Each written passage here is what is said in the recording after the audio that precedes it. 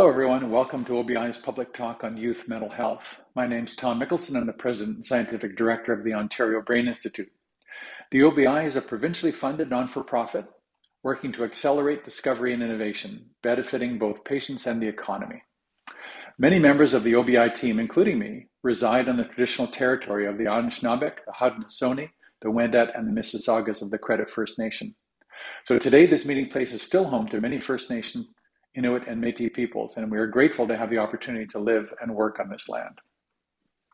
Over the past eight years, OBI has hosted more than 25 public talks featuring experts from Ontario's neuroscience and brain health communities, sharing their knowledge on a wide range of topics. The goal of this initiative is, of course, to educate, inform, and empower our guests about the impact of brain disorders, as well as about uh, advances in research. So the brain health topics that uh, you'll see covered in this year's talks were prioritized by you, our viewers and event attendees. For example, you've told us your stories of diagnostic journeys and barriers to care. And we hear that from many, uh, the gaps in mental health care system uh, may uh, be proliferating. So you've let us know that you'd like to learn about participating in research and how patient data is used. So in response to all this, what we aim to do at this talk and throughout the year is to feature pathways and services that support the one in three Ontarios impacted by a brain disorder. But perhaps most importantly, we'll endeavor to share our stories of people with lived experience. So you've joined us today for Youth Mental Health, Co-Creating Strategies for Success, the first of our four talks in our 2022-23 Your Brain Health series. Tonight, we're going to hear from young people dealing with mental health issues, as well as from clinicians and community care workers, but how they challenged their space within the healthcare system and reimagine it as a more accommodating place. Our hope is that the knowledge they impart will lay the groundwork uh, for successful strategies for other youth impacted by mental health issues and their loved ones. Since its inception, OBI has united the Ontario neuroscience community by prioritizing this patient experience, as well as that of the, their advocates and caregivers, so that better treatments can be developed and delivered. So the OBI team and our collaborators have worked hard to put people first, and we hope that tonight's talk demonstrates our ongoing efforts. So now, without further ado, I'll hand things over to the panel which will be expertly moderated by Rakib Tesfaye, a science communication lecturer, CBC radio science columnist, and a PhD candidate in the integrated program of neuroscience at McGill University. Rakib, thanks for joining us. Over to you. Hello, everyone. My name is Rakib Tesfaye. Thank you, Tom, for that introduction. I will be your moderator this evening. Welcome to the first OBI public talk as part of your Brain Health series. As Tom mentioned today, we're going to be discussing youth mental health and co creating strategies for success. We are glad to have you joining us this evening. Now, we do only have about 45 minutes uh, to discuss with our expert panelists. Uh, it's not a lot of time, so we're going to try to take as many questions as we can um, during the time that we do have.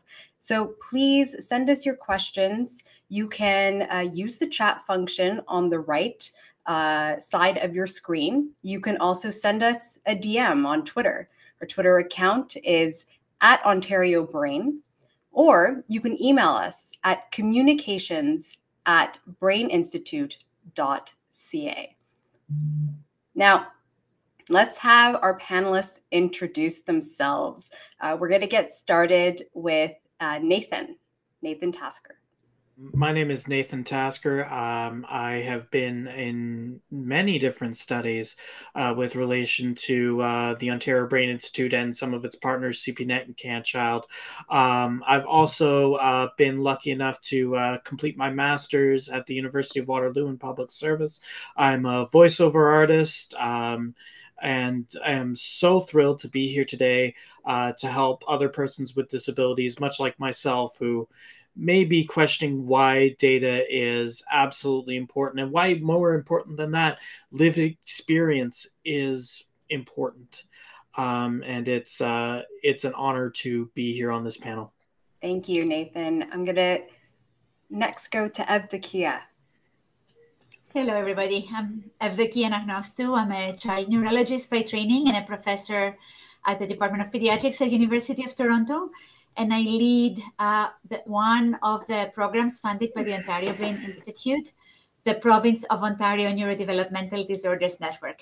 And I'm here to tell you a little bit about the work that our youth have done to communicate um, their mental health to the rest of our communities. My name is Rula Markoulakis. I'm a scientist at Sunnybrook Research Institute and a status assistant professor in occupational science and occupational therapy and rehabilitation sciences at the University of Toronto.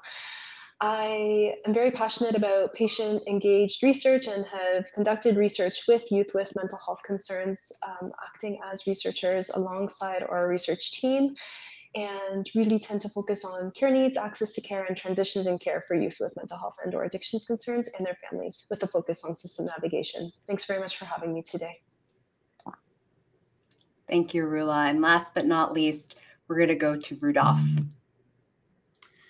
Hello, my name is Rudolf Uher. Nice to see you all here. Uh, I'm a psychiatrist and uh, researcher at uh, Dalhousie University in Halifax, Nova Scotia.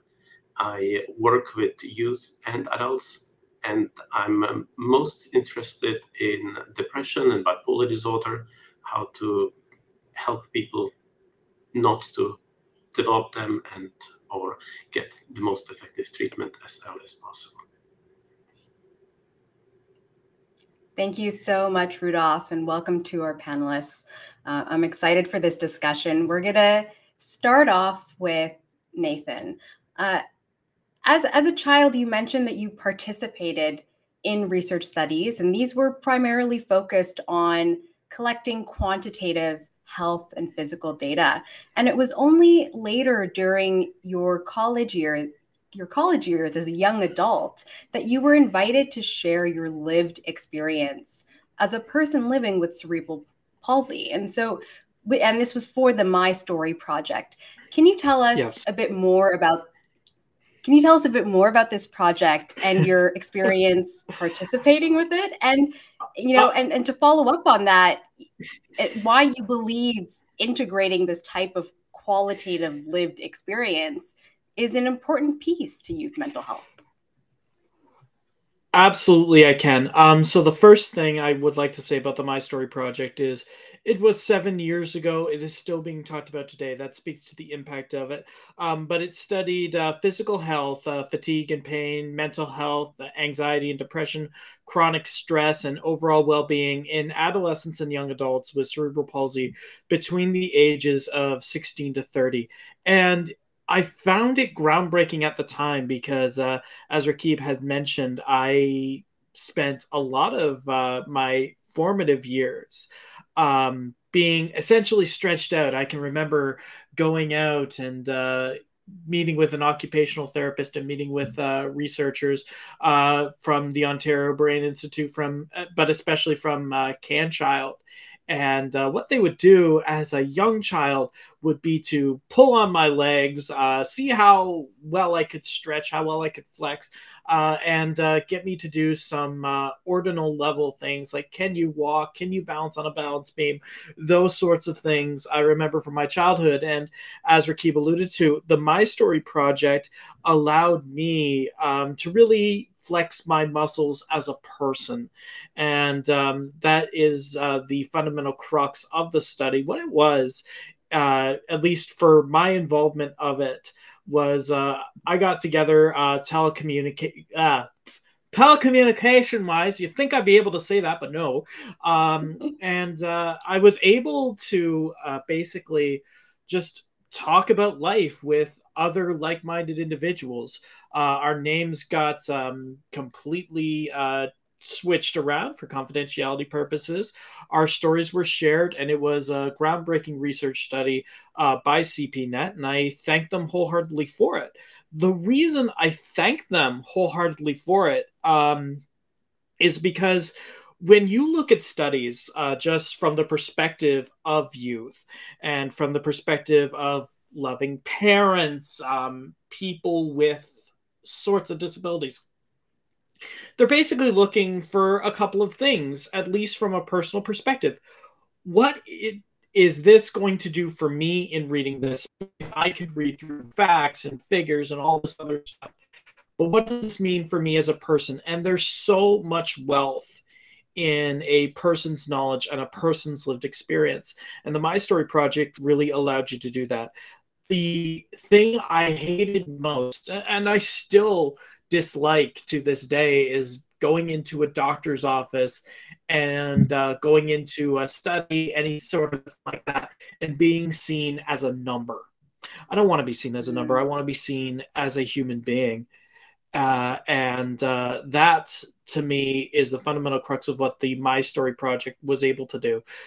Down the line, people with disabilities are going to be looking for answers for their lives. Uh, whether it be you be 16, 17, and you're looking to transition out of healthcare, or you're looking to further yourself um, beyond that. What's it going to be? you can talk about facts and figures all you want, but if you have that lived experience there, there's a calming effect that will greatly help individuals with disabilities in the future. And I cannot thank uh, the My Story Project enough for that. Mm, thank you so much, Nathan, for that. And you know, to carry on with what you had said, that we're you know we're more than just numbers. Um, Evdokia, you know, much of youth mental health has relied on quantitative data, right? Has relied on that on that data and and and assigning these numbers. So, as a clinician and a research scientist, can you tell us from your perspective why this qualitative experience for youth, from youth rather, is vital, and and how the Child Bright video project that you've helped spearhead highlights this importance? Yes. So, so I mean, numbers are important. I don't want to say that numbers are not important because they allow us to look at relationships. We can start looking at relationships between mental health, strengths and weaknesses, difficulties and triumphs, and how they relate to brain and genomics and other types of exposures we can quantify. But they don't tell the whole story, and they don't tell the story the way the youth want to say it.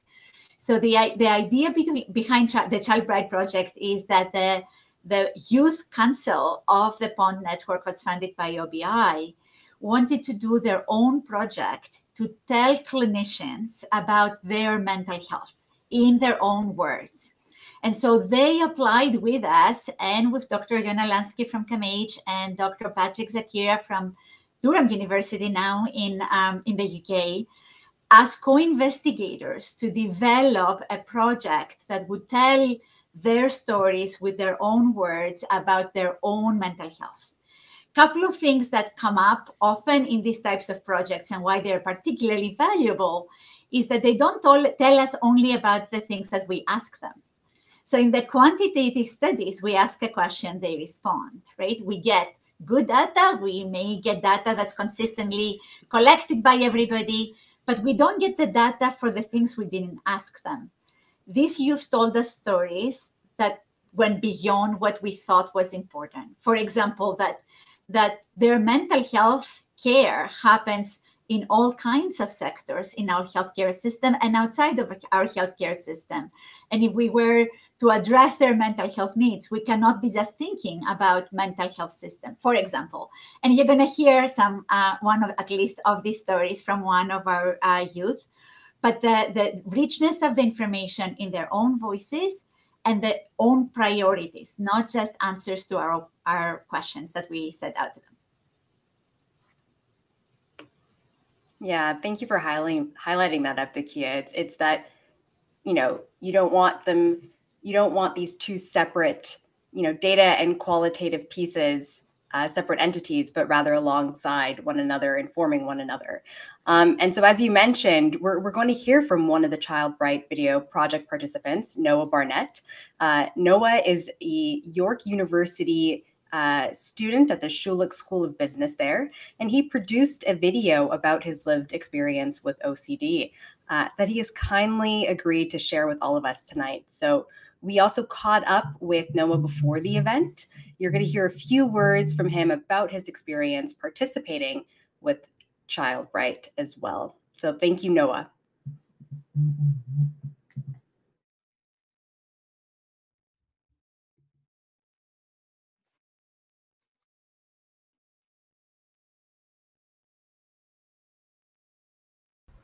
It all started when I was washing away the dirt in a place that was so familiar.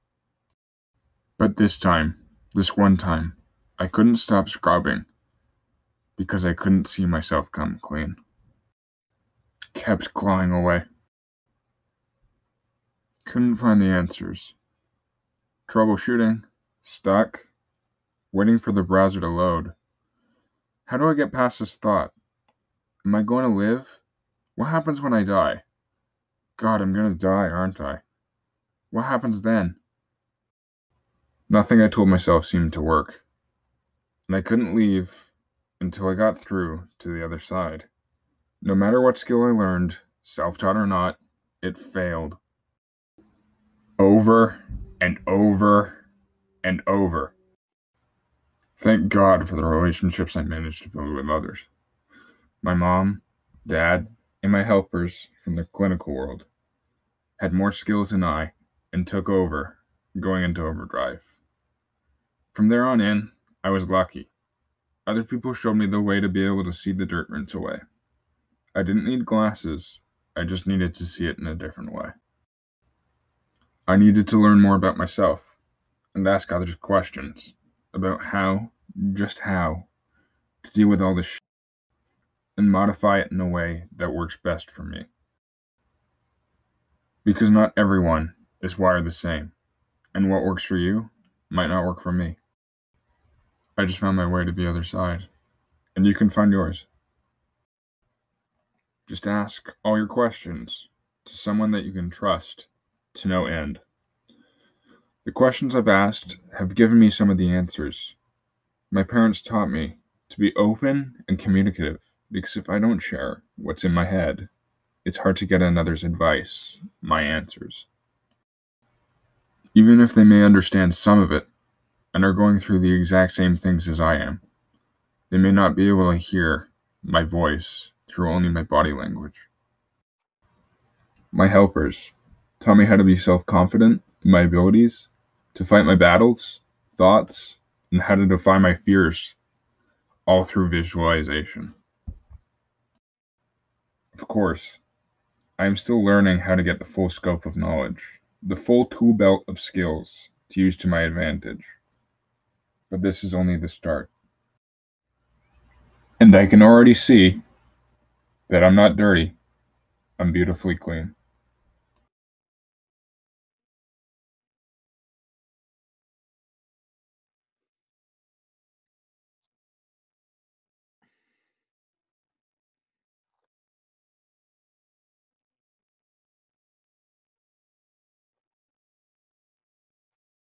Was diagnosed with OCD when I was about 14, but I've kind of been experiencing it all my life because my my father has it. My one, probably both of my siblings have it, so it's kind of been always there.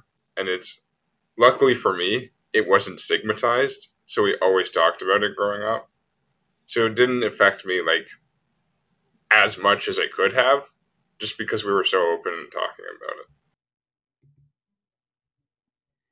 It it really begins with my involvement in Pond, um, which started when I was about sixteen. We went to this like family day event that Pond was running, um, and so I saw other youth up there, and was like I want to do that too. I I started this uh, youth organization at Pond, where it's it's youth giving advice to doctors as opposed to uh, other physicians giving advice to other physicians and parents. But um, one at one of our meetings, we were starting to discuss like the youth um, side of it a lot more in the parental meetings, just because of my initiative. And so eventually we formulated that study, the knowledge uh, translation project with Childbright. Um, and it took a little while to get it going, but um, that's basically how I got involved in it was just through me being a youth who was advocating to adults. I would say that it's helped me in life generally being involved in the project. It's opened me up to so many different perspectives and it's helped me think through things in a different way that I wouldn't have before. And it's kind of made me realize how how detailed life is in a way. Like there's so many intricate steps to things and you have to pay attention to all of them otherwise you'll fall through the pitfalls of whatever it is you're doing. And then it's important to pay attention to them because you'll you'll get more out of what you're doing. Sometimes people treat people who are maybe on the spectrum or other, other diagnoses as like kind of like not they can't communicate in the same way because they clearly can. And i've had experience where they can. And it's it's important to not diminish their worth. It's important to listen to them just as much as you would to anyone else. That kind of stuff.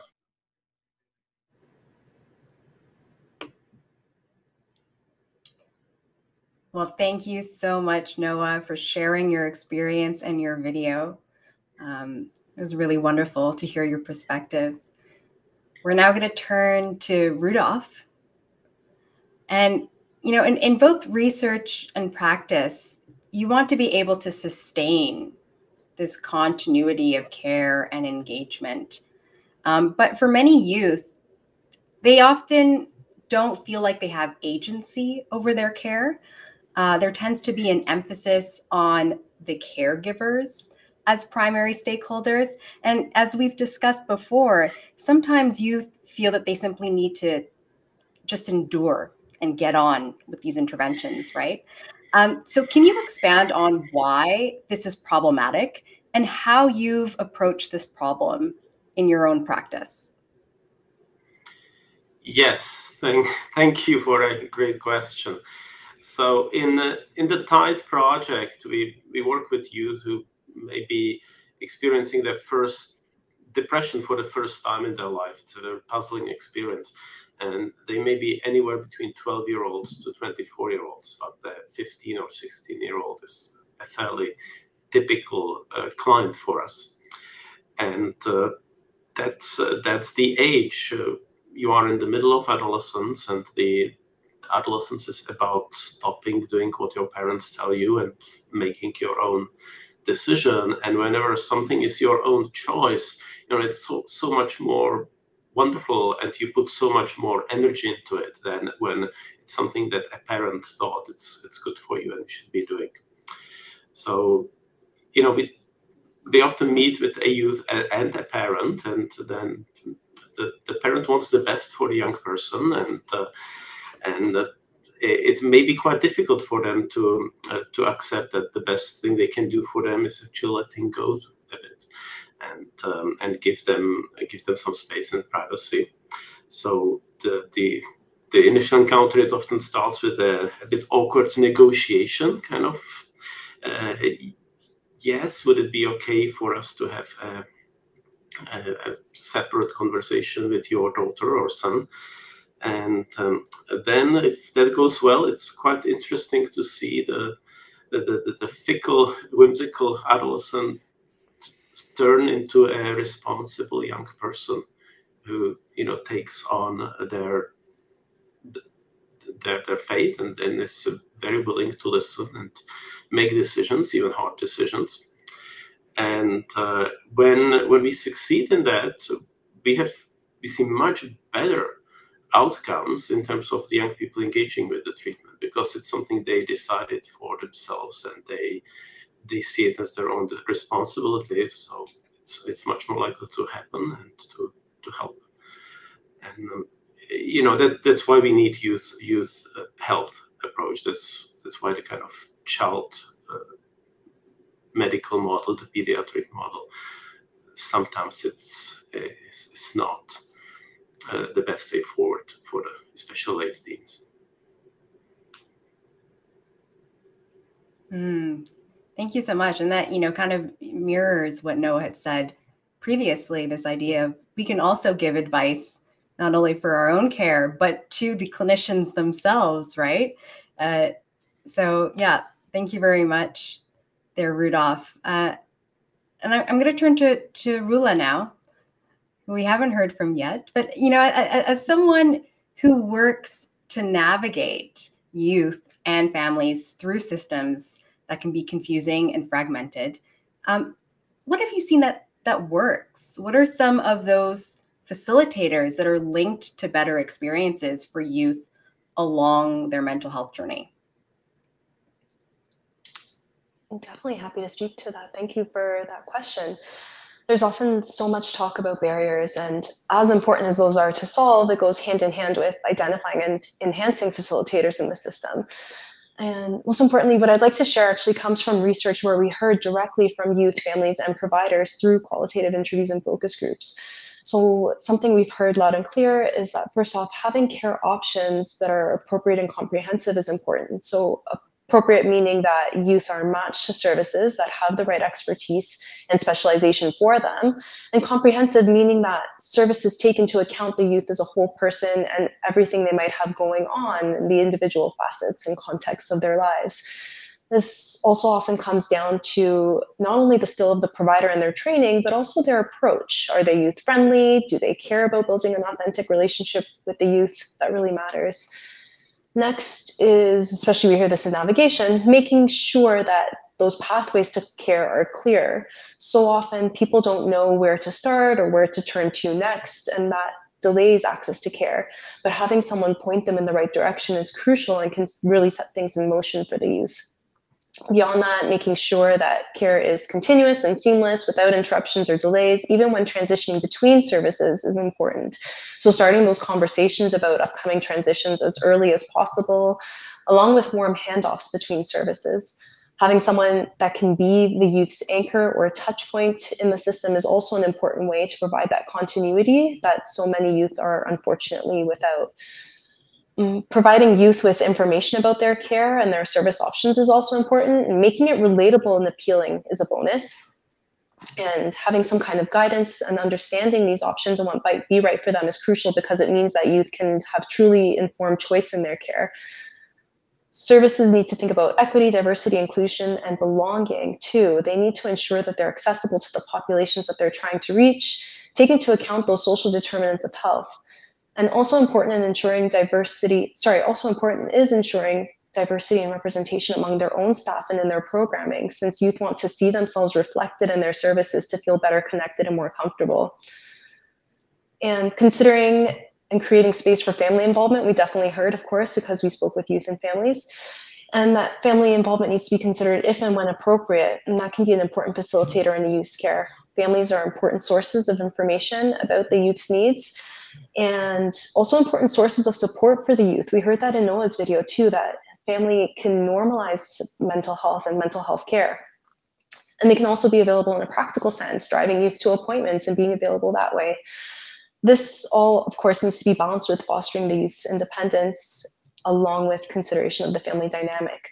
And finally, of course, system navigation support has been identified as critically important in helping to integrate the system and help youth and families find access and transition through the care they need.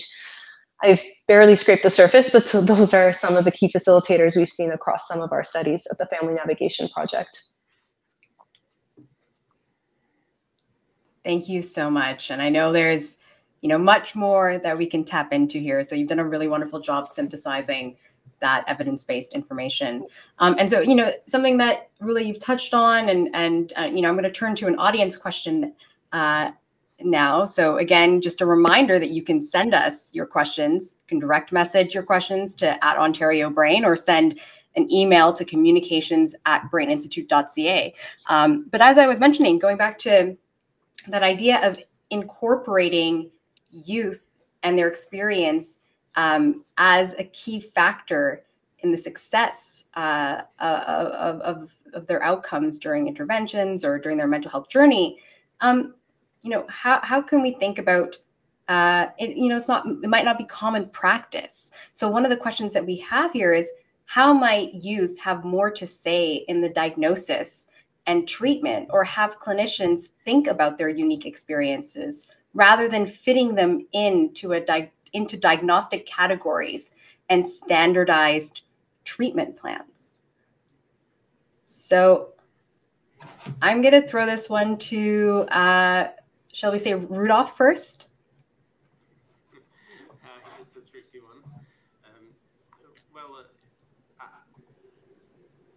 I think you can take it in, in many different ways, and to be, we can be more or less iconoclastic in this to uh, to, to, to, take take uh, the, the young person's own view seriously.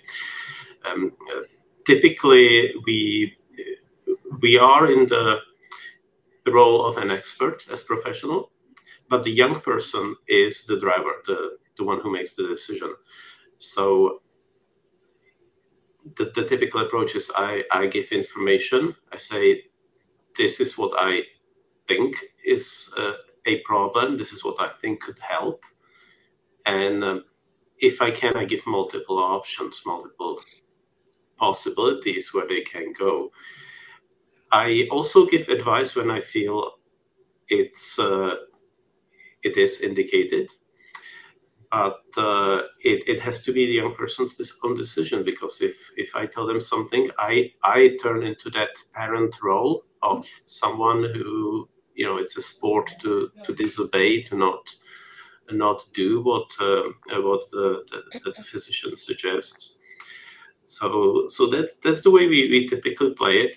The the one golden rule I would say when assessing is uh, first listen then ask additional questions, and then play it back. Then I say, look, from what you told me, I think this is the main problem, and this, I believe, may may be something we would we'd like to change it this way. Does this sound right? Also asking, did we actually talk about what bothers you the most?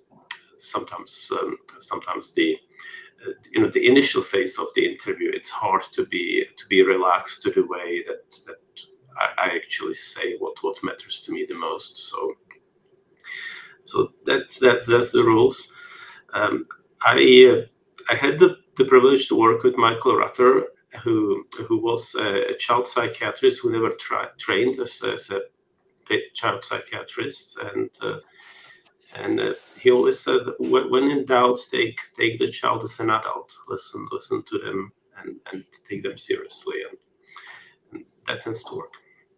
So, thanks. Mm, thank you. And that, and, that and that kind of fits with what you had mentioned earlier with this idea of being very intentional about making sure the youth know that they have agency. So whether that's kind of separating them from their their caregivers to do an interview and, and to ask them these questions. Um, it's it's very, from what I'm hearing, very key to be very intentional with that at the very beginning. Um, do any of the other panelists want to, to chime in here?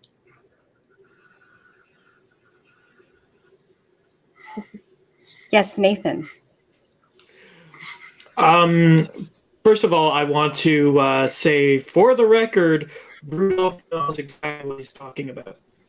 Um, I can tell you, um, just based off of lived experience, I'm, I have no idea of the uh, level of study that all of my esteemed colleagues have. It's far more than mine on this issue.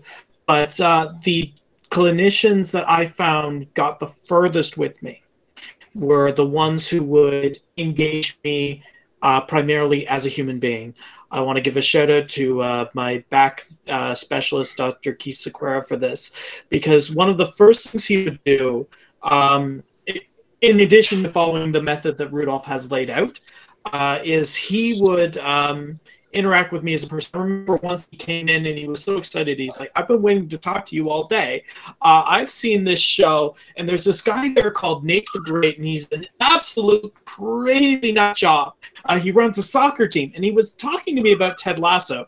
And he said, If you haven't seen it, you need to see it. It is your humor entirely, and you're going to get a kick out of it. Now, um, let's talk about uh, where you think you are in terms of um, your pain levels and other items like that. And I can tell you flat out, it's uh, honestly some of the best care I ever had because you're engaging me as a person and you're engaging my worldview, and thus allowing me to further drive the treatment and be more uh, accepting towards treatment because I'm not being talked down to about it. Mm. Thank you so much, Nathan. Evdokia, you, you wanted to add something as well? I was going to add just a couple little things uh, that have been mentioned, but from the experience of the youth, from the many stories that they've told. Uh, so, the one thing we've heard from them is validating their experience as real and important is a thing that they missed from our sector, but we don't do it well as clinicians, that they haven't experienced this in our system, that they have to convince us to take them seriously. So, validating the experience of youth as a real and important experience seems to be uh, almost universal ask among the youth. Um, and we need to think as clinicians, again, across sectors, not just in the mental health sector, about how we validate these experiences and, and listen properly. The second thing is that there is, the question was about specific diagnosis, and it's a very good one, right? Like the ultimate goal is a good life, right? And how we define a good life is often a very personal thing. So we use the diagnostic categories just to orient ourselves on where we think in the brain the difference may be and what may be uh, responsible for causing distress. But in terms of developing, co developing plans to get to a good life, if we do not take into consideration the personal preferences of the youth in front of us and their definition of a good life, it would be very hard to accomplish such a good life. So, although the diagnosis can be somehow useful to just give us general idea about where it is that we are um, need to focus on or work on, ultimately the the approach has to be uh, focused on the youth's definition of what a desirable outcome is, of what a good life is, of where they find meaning, of where they find distress and where they find joy, right?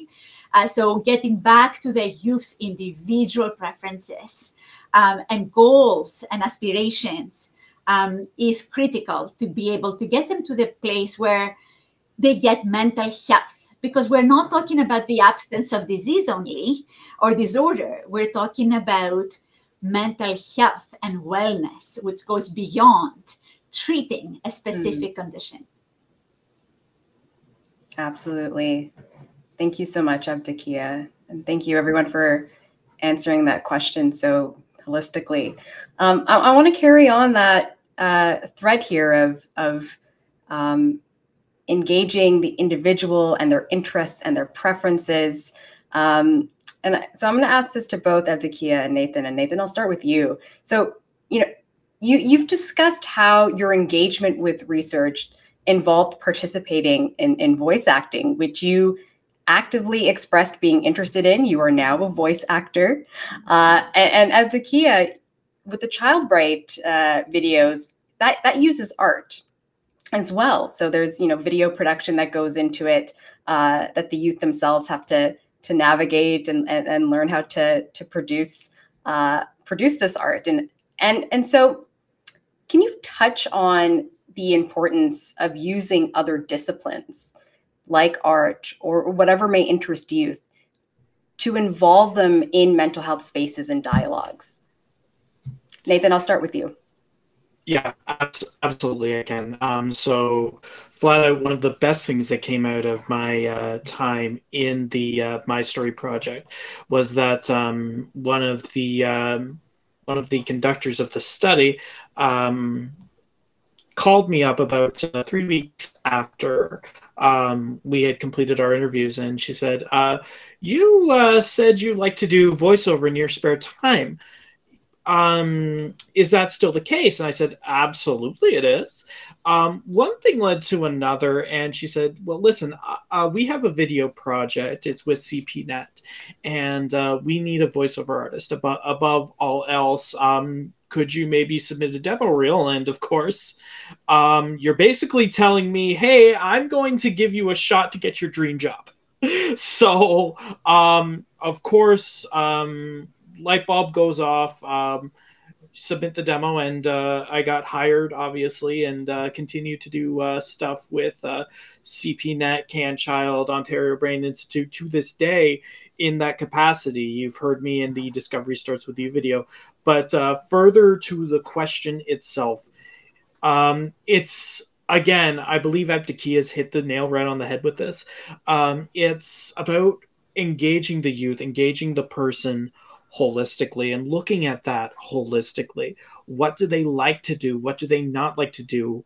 Um, and figuring that into a way that's going to give them the best quality of life possible. Because at the end of the day, regardless of um, how you feel, um, we as humans, disability or not, take that completely out the uh, and throw it completely out the window. Disability um, and uh, humanity, I would argue, are about finding the best quality of life possible. And if you can engage youth and engage people through arts, through other disciplines, and uh, through other mediums whatsoever, you're going to be able to get a much better experience out of it because as it it shows that you are actively listening, that you are allowing uh, the youth in question to demonstrate agency. I can tell you uh, from my experience as a camp counselor, I had one camper, this is eight years ago, um, whom I absolutely loved to death. Uh, he had uh, intellectual disability. And um, the big thing that he had, the big thing that he would always do is he would have this wonderful little doll. It's called Cranky. You basically the one taboo was never ever ever take cranky away. Cranky was his comfort. Cranky um, was in many ways an extension of himself. Unless you were me. Because you could engage cranky or i could engage cranky in such a way where i could make him talk and that made this kid laugh so much and relate to me on such uh, a much more personal level because I was able to take something from his environment and use my disciplines, what I was trained in, in order to make his life better, his camp experience better. Um, and uh, you will find doing something as simple as throwing your voice out or involving youth in um, um, videos or other disciplines, even sitting down and discussing like what's your favorite TV show, what's your favorite movie, stuff like that, is going to have them relate to you a lot more on a personal level because it's about humanity more so than anything else. Hmm. Thank you, Nathan. Um, Takia, the same question to you. Yeah, I mean, for me, uh, arts is a medium that allows us to do two things. One, it allows the people who are telling their stories to tell us their stories in any form they see fit. So if they can't tell large narratives of complicated stories, they can find other ways of telling us stories. But the other thing about art is that everybody else who's listening can listen in different ways right? So we can tell the stories better and we can hear the stories better through uh, art media. And that's why we have uh, we, we find a lot of value in engaging artists and artist communities in telling the stories of the youth um, related to their mental health. And in fact, I should say just quickly that these digital stories, you saw one from Noah, but there is several of those, will be shown in arts festivals and art um, exhibits uh, around Canada in the next couple of years. So you may actually see them as purely arts program, uh, arts programming and arts um, products, pieces of art. That's wonderful. And I'm sure that uh, OBI will let everyone know when that happens. And we look forward to, to seeing all those videos. Um, we're now going to take a few questions from the audience. Uh, Rula, uh, I'll direct this one to you. So, one of the audience members asks COVID helped create more awareness and acceptance about mental health. How can this awareness be used to create change in how we treat youth? Oh, that's a big question. I think so. One thing that immediately comes to mind, and we heard this actually from other qualitative interviews we had done as part of another study. Um, we had actually parents cautioning us that with this growing awareness of mental health that you know more and more youth are becoming aware of their own mental health needs and mental health concerns but there was a potential for a negative flip side of this where people might begin to just brush off certain behaviors and concerns as being COVID related and that they'll naturally resolve once the pandemic resolves. And we all need to be aware that that isn't necessarily the case, that, you know, some of these effects will be long lasting. And particularly for youth, there have been significant impacts during a very important developmental stage in their lives. And it's important for us to be aware that services will need to be in place in the short and the longer term to be able to respond to these changing and evolving mental health needs as a result of the pandemic. So I think we really need to latch on to this momentum that's been gained in mental health awareness and advocate for accessibility of services and um, ultimately awareness for people to be able to find and access the care that they need. Mm, thank you. It's a very, very interesting point. The idea of becoming habituated to it in so, in in some respect. Okay, thank you. Uh, the the next question I'm going to direct to Rudolf. Uh, so this audience member asks, what strategies? Uh, what are the strategies that youth can use if their parents won't give them the privacy that you noted? that they should and could have. So how do you how do you navigate that tense and awkward situation? Look, it's it's really it's really big question. Uh, we, we usually my my my go-to is we, we try to get an adult on board right it's it's very hard for a young person uh, of uh, less than age 18 to, uh, to, to be fully independent in their life. Our, our society is not designed for that. So they, they need an adult on board. And sometimes it's a parent, sometimes it's another parent, but at other times it's someone someone at school or or a, it can be a neighbor etc so that's that's one thing that that helps uh, privacy is so important. We, we, we had a lot of move for like you know delivering health uh, healthcare remotely through smart devices through the internet. Our youth, young people, actually express even stronger preference for in-person work than uh, than their parents and adults and, privacy is the, the number one reason. Often the, the, the, internet connected space doesn't overlap with, with private space for them. So we, we also trying to put in infrastructure to enable that. We in Nova Scotia, we work with young people across the province, and sometimes we, we go and see them. Tomorrow, I'll be driving a couple of hours to see someone, a 16 year old in a remote part of the province but um, we we also trying to create safe connected spaces so that the young, people can go somewhere where they, they know it's private and where they can go themselves because it's near to where they live. So you know all of that together enabling uh, creating opportunities for it rather than you know trying to do things behind the back of someone is usually preferable. Hmm. thank you rudolf so one of the audience members had a similar line of thinking to the next question I wanted to ask uh, Rulof, uh, Rula and Rudolf, rather. Um, and so, you know, they they touch on that today. The Ontario government mentioned a three billion dollar investment in addictions and mental health. Um, you know, which is wonderful news.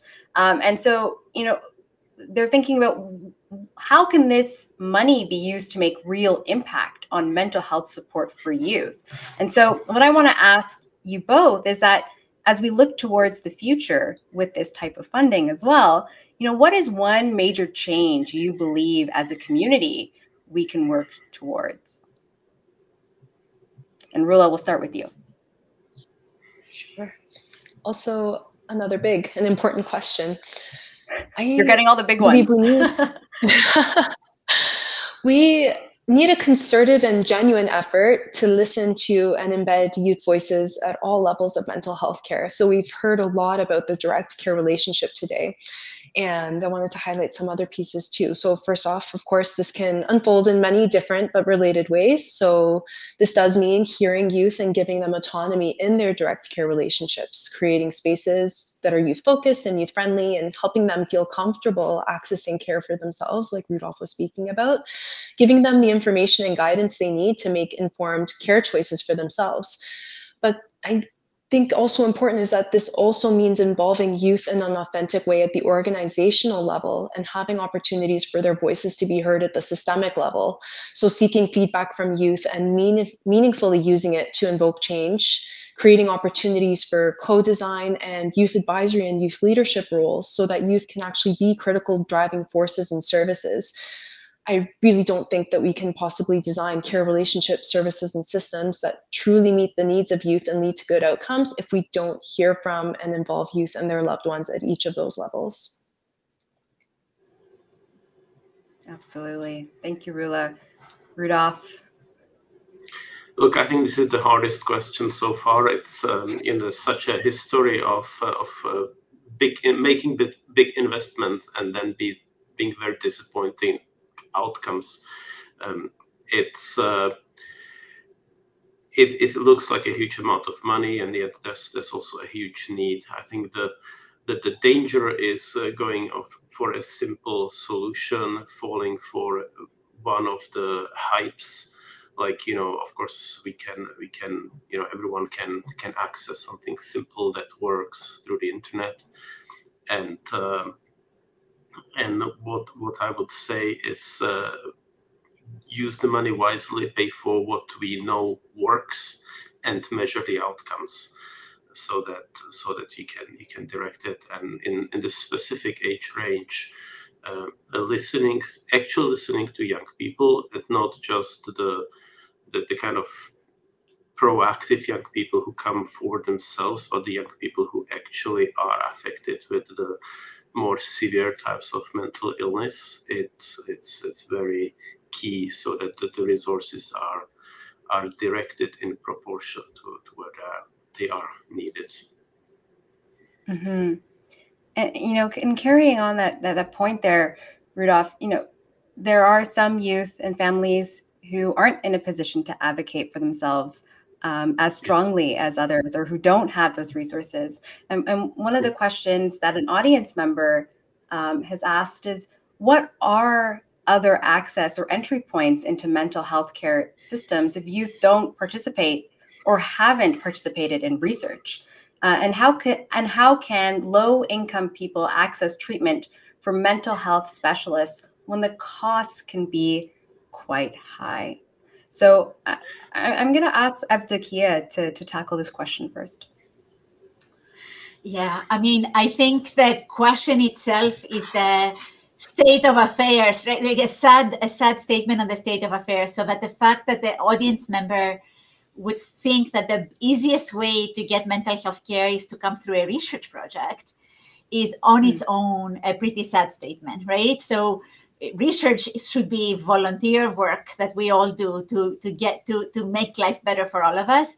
But it should not be where we go when we're in crisis when we're in trouble when we need uh, clinical care support. So i appreciate the question for what it is.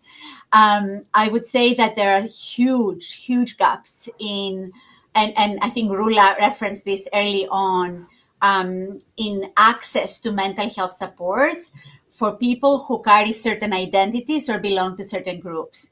So the question referenced the money, which is a very important one in terms of how we bill and how we reimburse mental health care.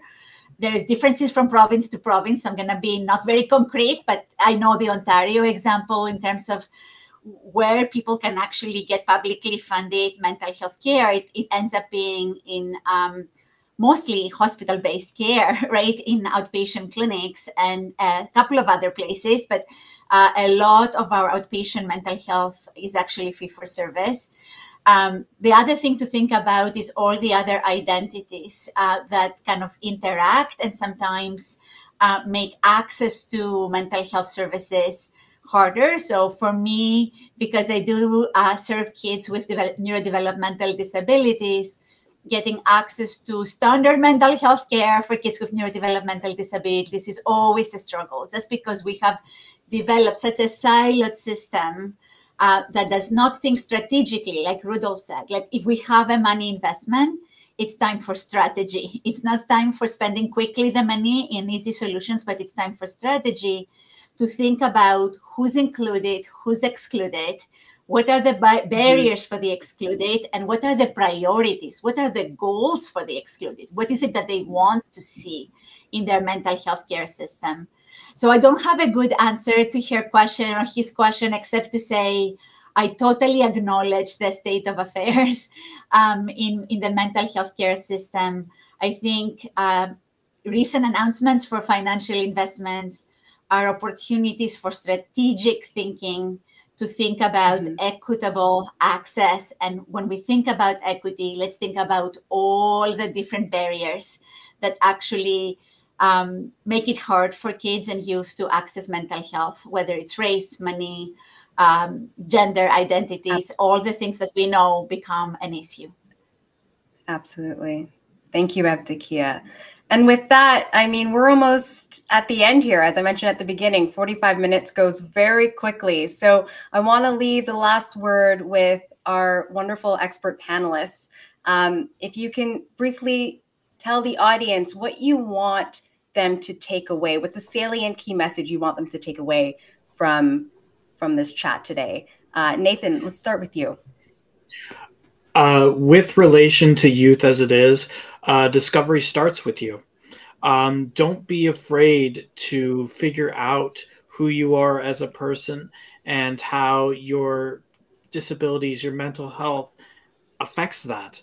You are a human. Uh, you are a wonderful. Um, you are a wonderful, um, fantastic uh, way of life um, and how do you want to live your life? Hmm. Thank you, Nathan. Rula?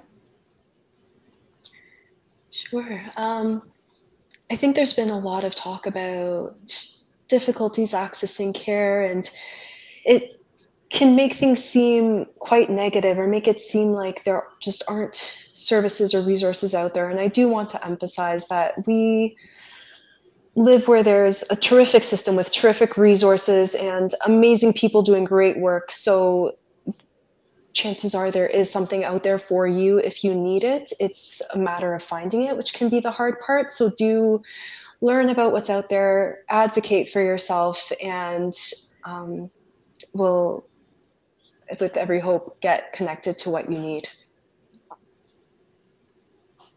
Thank you, Rula. Rudolf, turn to you. Thank you. Well, for young people, what I would choose is time matters.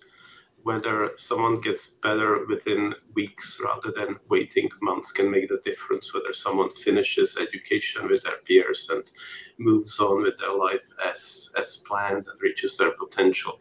So at, at this age, more than any other age, don't get distracted. Don't go for simple solutions, hypes, or principles. Take what works and make it make it available to young people quickly, and um, give them the give them the choice. Excellent, thank you. And last but not least, Evdokia. So uh, I would say to the youth that your experience is important and it is valid and it matters. And if we're not listening, it's not your problem, it's our problem. Call us to it, yell at us, tell us that we're not listening. And for the rest of us, I would say, for the rest of us, I would say we all do mental health. And that came very clear through the digital stories of the youth. We all do mental health. We all are responsible for protecting the mental health of our youth. So even within our sectors of health and social services and education, we don't pass the back to each other. We are all responsible for assuring and protecting the mental health of the youth that come to us. And wonderful, wonderful final note to leave on. Thank you, Evdokia. So on behalf of the Ontario Brain Institute, I want to thank our panelists, Evdokia, Nathan, Rula, Rudolf, um, for just you know being wonderful experts and, and and having this wonderful stimulating conversation, which I hope um, has, has, has benefited folks tuning in today.